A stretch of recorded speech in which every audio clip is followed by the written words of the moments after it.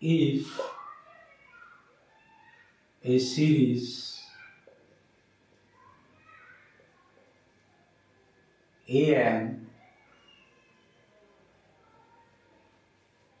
converges then then nth term that is an converges to 0 nth term converges to 0 since since an is convergent this is given. Therefore by definition limit of partial sum Sn exists say equal to L say equal to L. Therefore but but Sn is equal to A1 plus A2 plus A3 plus an minus 1 plus an. Now, for this, up to this, what I can write?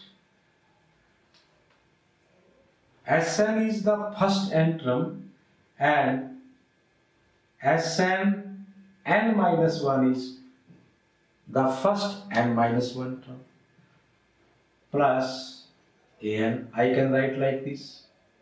So this I take left side. So Sn minus Sn minus 1 is equal to an I can write this. Now take limit.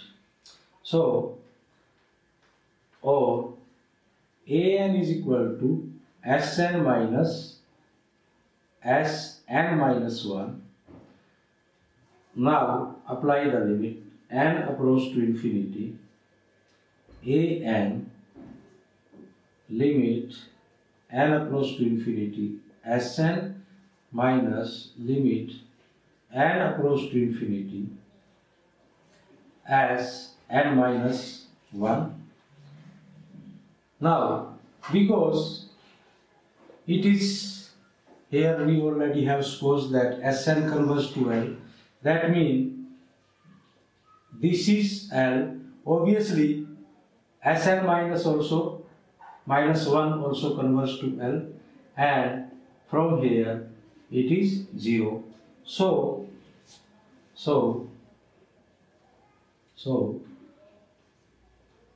limit or simply you can say an converges to 0 that means this is equal to 0 or you say an converges to 0 now what about the converge?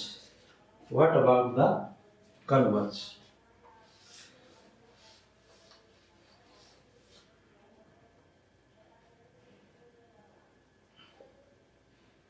Converge sorry